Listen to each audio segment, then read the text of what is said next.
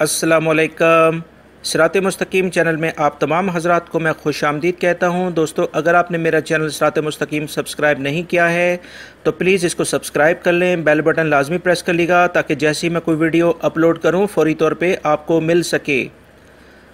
دوستو، عید سے کچھ دن پہلے میں نے ایک ویڈیو آپ سے شیئر کی تھی، جس میں میں نے آپ کو بتایا تھا کہ ریاض پولیس نے ایک بڑی کارروائی کرتے ہوئے پچاس سے زیادہ ڈکیتیوں میں ملوث کچھ انڈین اور بنگالی شہریوں پر مشتمل ایک گروہ کو گرفتار کیا ہے، جو کہ اسلحے کے زور پر ڈکیتیاں مختلف جو کنسٹرکشنز کمپنی ہوتی تھیں یا گودام ہوتے تھے، ان پر وہ کرتے تھے۔ دوستو، آج ایک خبر جو آئی ہے، اس میں کچھ تین پاکستانی شہری ملوث ہیں۔ تفصیلات کے مطابق ریاض پولیس نے کاروائی کرتے ہوئے تین پاکستانی شہریوں کو گرفتار کیا ہے، جو کہ ایک اے ٹی ایم مشین کو توڑنے کی کوشش کر رہے تھے۔ تاکہ اس میں موجود ریال کو حاصل کر سکیں۔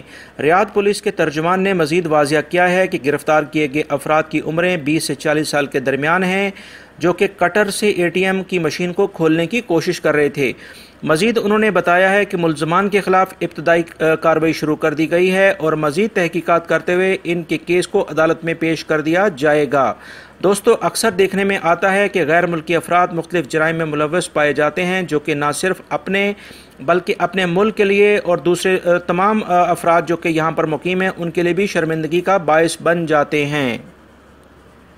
جبکہ ہمارے ملکوں میں موجود ہماری فیملی کن مشکل حالات سے گزرتی ہیں جب ان کو یہ پتہ چلتا ہے کہ ان کے بھائی شوہر یا باپ بیرون ملک کسی جرم میں گرفتار ہو چکے ہیں۔ لہٰذا ہمیں ہمیشہ شیطان سے پناہ مانگنا چاہیے اور اللہ کی مدد کا ہمیشہ طلبگار رہنا چاہیے۔ امید کرتا ہوں میری اس ویڈیو کو آپ لائک ضرور کریں گے اور اس کو دوسرے دوستوں سے بھی شیئر کرے گا۔